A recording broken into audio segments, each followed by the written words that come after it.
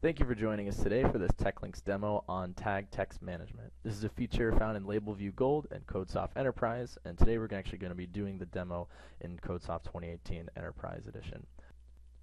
Tag text management is something that's used more commonly in ingredients labels using allergens, um, showing nutrition facts. So for example, we have this field here, which is our ingredients list. Milk is an ingredient which is an allergen, common allergen, and we want to flag that um, with a bold font. It would be difficult to run through our ingredients list and have to bold one word, especially if milk or another allergen ap appeared multiple times, it would be difficult to go in and bold those individually. But tag text management offers something a little bit simpler for us. So what we're going to do is take our ingredients variable here and pass it through a formula. We're going to create this formula and call this the allergen tag. And essentially what we're going to do is we're going to surround milk with a bold tag. That tag text management will be able to recognize and bold that particular word. So in order to do that, I'm going to replace the string of milk with uh, some tags around it. So first we're going to include our ingredients. That's the string we're going to be pulling from.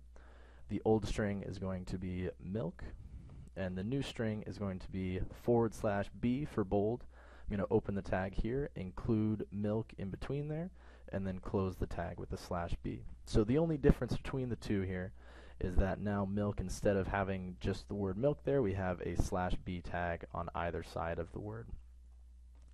Now if we were to drag this onto our label, we can see it looks a little bit funky because of the fact that it has those tags there, and this is where tag text management is going to come in. We're going to access it with tools and tag text management.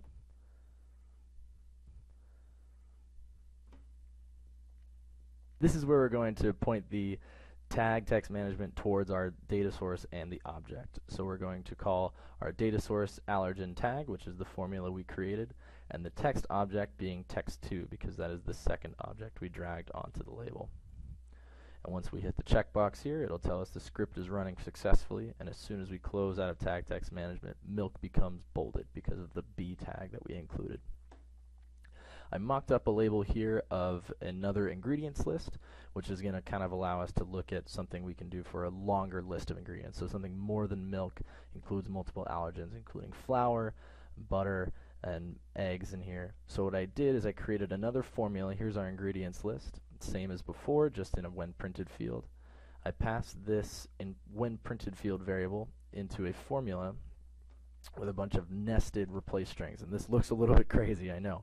But what's happening here is we're basically saying, you know, anywhere we see flour, replace it with the bold tag for flour. Wherever we see whole egg, replace it with the bold tag for whole egg. And essentially just nesting all of these so that we get all of our variables included. So now what I'm going to do is I'm going to change the data source of our field to our allergens field and we're going to notice the funky text again with the slash b surrounding our allergens which is exactly what we want because that allows us to open tag text management and include our allergens formula which is where we included those tags. And then the text object name here is text ingredients. So once we link these up within tag text management we easily bold out all of the allergen ingredients within our apple pie Thank you for joining us today for this demo of Tag Text Management. Uh, if you have any questions, feel free to give us a call on our tech support line or visit us at teklynx.com.